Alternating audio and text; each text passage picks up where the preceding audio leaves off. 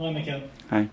Um, just before I start, could you could you clarify who is in the leadership group at the moment and will Auba stay in it?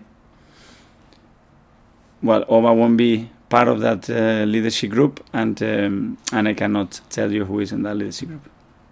No worries. And what would Auba have to do now, or, or any other player, if they were in, in, in his situation? What would he have to do to get back into your thinking for selection and to, and, and to secure his future, if you like? What steps would he have to take?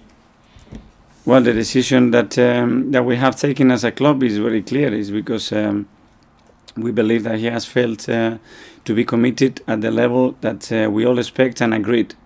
So um, it's as simple as that. And you talk about that commitment. Obviously, you've been Arsenal captain. You know exactly what is required to, to lead this squad, lead a club like this. Can you I mean, can you talk a bit about what qualities you expect an Arsenal captain, whoever that is, to have?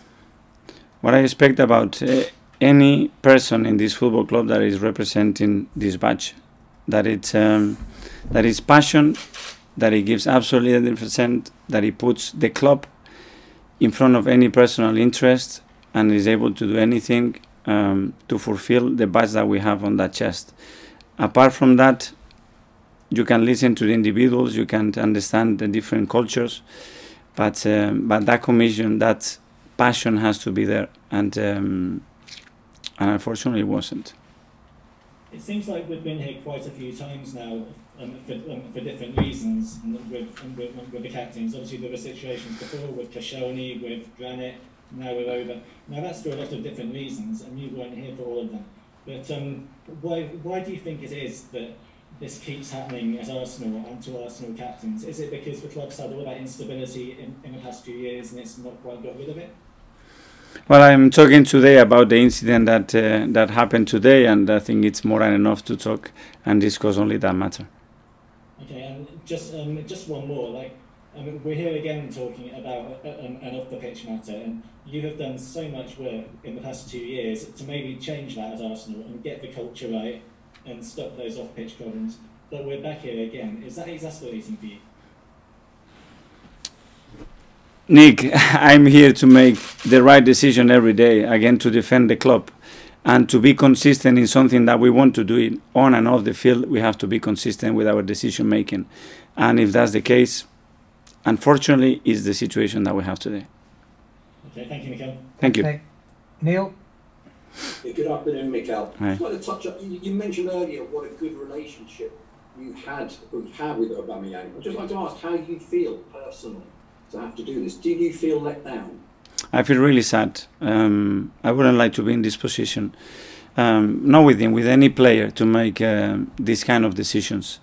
Um, because at the end, the formula a coach is when you're trying to help a player to become a better person, um, to be happy, to be fulfilled as a as a player and to enjoy on that pitch. And at the moment with that decision, Auba is not going to be able to do that. So for me, it's just um, sadness.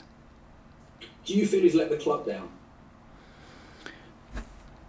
We have made a decision because we believe that um, um, is the best thing right now to do, and um, and that's it. And there's no point of uh, going any further than that.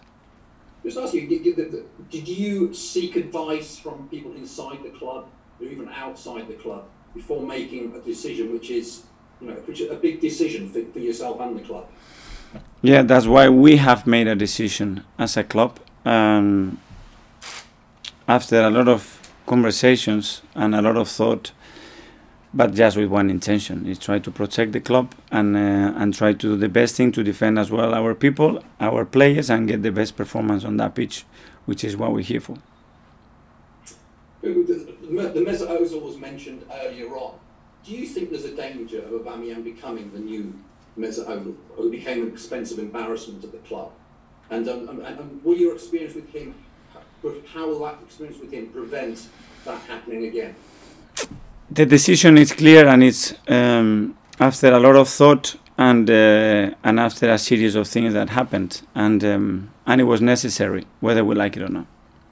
Yeah. Just to finally from me, that you've worked hard on the culture of the club. Do you think is this a? Do you think you've made you've had made huge progress? Does this come as a surprise to you the, this this incident? And do you think you've got the characters in the dressing room to behave and create create a culture that you are looking to create at Arsenal? We have come very very far, and you can only see that probably when you are around here, but you can see as well the energy and togetherness around that team when they play together. But um, still not there, and uh, we had another incident, and that reflects that we are still not there. But that's why it's um, it's about the light rain. To get really wet, you need every day, every single day, and um, and that was another one. I mean, so just finally, management's not an easy job. Do you find this the most difficult part of it, aside from the tactical side, that's all that all demands of a Premier League manager, the man management? Do you find it? Do you find that difficult? Yes, because the, the best thing is when you can make uh, people's life better, and with your capacity to make big decisions, whether it's a a member of um, one of the departments or whether it's a player, is uh, to to try to help him um, to have a better life, to be happier, uh, to conquer more things. But um, but as well, at the end, you have to defend the collective and the club, and in order to do that, you have to make bold decisions that uh, that you think that um, they're going to help the rest of the of the club. Thanks, Neil. Hi, Mikel.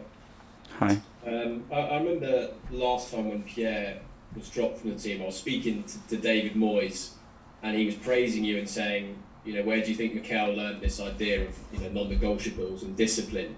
I just wondered where that came from, and was it something you learned from David? Was it your time at La Masia, or where your sort of man management philosophy is really born out of? First of all, is the way I was raised um, with my parents and um, and my family entourage. Then it's experiences that I had in life, obviously throughout um, my life and my career as a player with with different managers and people that I admire, and um, and this is with my beliefs, and thankfully my beliefs and my values are completely shared with the with the club values. That's why I decided as well to to belong here, and um, and take the step to become the manager here because I believe that I could represent them. So what I cannot do, it's um, it's fail to that um, because then it wouldn't be me. Mm. And and your your predecessor here, Unai, and I think Pep might have done it at City as well. When they were picking the captain, they held like a vote among the squad I don't know if when eventually you come to pick a successor, you will have a vote with the squad, or is it a decision you will take who is the next Arsenal captain? There are so many different ways to do it. Uh, sometimes the manager can decide the captain or can decide the second or third captain, and the group has to defend who is going to represent them in, in that dressing room. They are good and um, and they can all work. Uh, you have the right people. So you wouldn't be opposed to, to having a vote?